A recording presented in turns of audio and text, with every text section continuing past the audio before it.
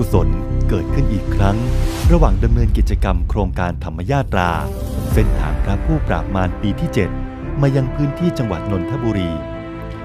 โดยได้ร่วมกันประกอบพิธีถวายสังฆทานแด่คณะสงฆ์102 วัด ในวันเสาร์ที่ 19 มกราคม พุทธศักราช 2562 ณ วัดตะเคียนอำเภอบางกรวย จังหวัดนนทบุรี ในพิธี ได้รับความเมตตาจากพระเดชพระคุณพระราชนันทมุนี เจ้าคณะจังหวัดนนทบุรี เจ้าอาวาสวัดบัวขวัญพระอารามหลวง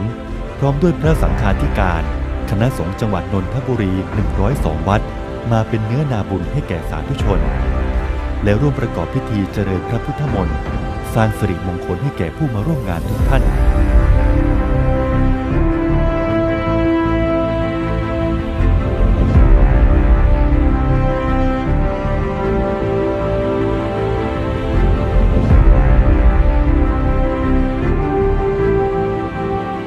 พิธีเจริญพระพุทธมนต์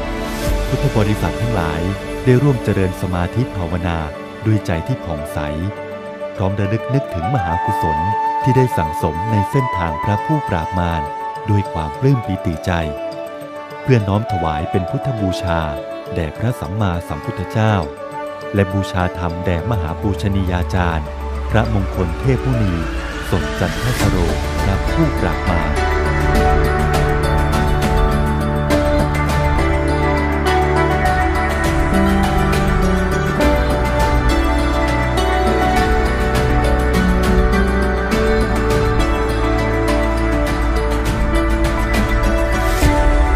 ธีถวายสังฆทานแด่คณะสงฆ์102 วัด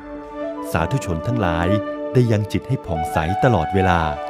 นำมาซึ่งความปลื้มปิติในมหากุศลที่ได้ร่วมกันสั่งสม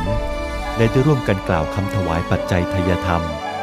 กล่าวคำถวายยานพาหนะ กล่าวคำถวายผ้าไตร จากนั้นได้ร่วมกันกล่าวคำอธิษฐานจิตให้เป็นผังสำเร็จ และเป็นทางมาแห่งพลานิสงส์อันไพศาลที่จะบันดาลให้ชีวิต ประสบกับความสุขความเจริญรุ่งเรือง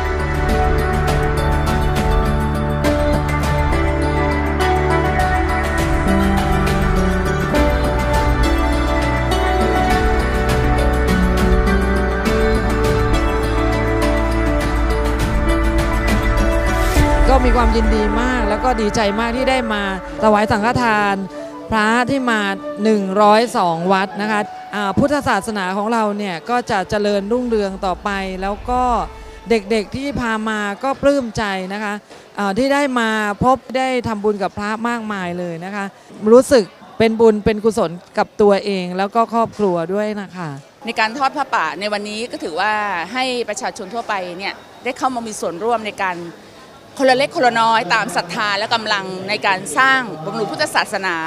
ก็ถือว่าน่าน่าน่าประทับใจและภูมิใจตัวเองก็ประทับใจในวันนี้ด้วยนะคะ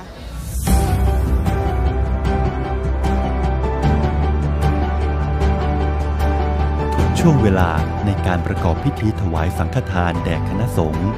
สร้างความปลื้มปีติให้แก่สาธุชนทั้งหลาย ถือเป็นโอกาสดีที่ได้สั่งสมบุญใหญ่ และเป็นการรวมใจพุทธบริษัทสี่ในพื้นที่ให้เป็นอันหนึ่งอันเดียวกัน ซึ่งเป็นไปตามวัตถุประสงค์ และเจตนารมณ์ในการสร้างบุญบำเพ็ญประโยชน์ของโครงการ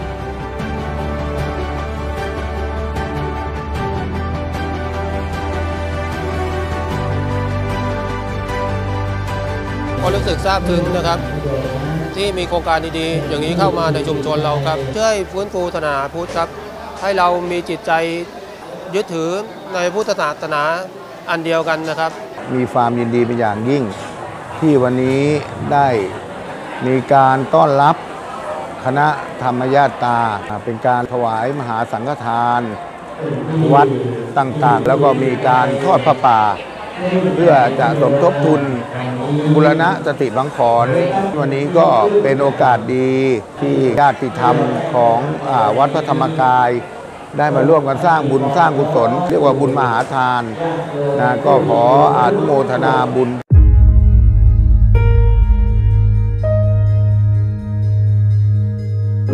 านบุญมหากุศลครั้งนี้ สร้างความปลื้มปีติให้แก่ผู้มาร่วมงานทุกท่าน และเป็นการสารสัมพันธ์ บ้าน วัด โรงเรียน ให้มีความสมานฉันท์เพื่อร่วมกันทำนุบำรุงพระพุทธศาสนา ให้เจริญรุ่งเรืองยิ่งยิ่งขึ้นไป อีกทั้งยังเสริมสร้างความเข้าใจทำให้ชาวพุทธได้หันมาตระหนักถึงความสำคัญในการทำนุบำรุงพระพุทธศาสนาร่วมกัน ถ้าหากนำไปปฏิบัติเป็นแบบแผนสืบต่อไป ย่อมเสริมสร้างความสามัคคีในหมู่ชาวพุทธให้แน่นแฟ้นยิ่งขึ้น ซึ่งถือเป็นหัวใจสำคัญของการสืบทอดอายุพระพุทธศาสนาให้ยืนนาน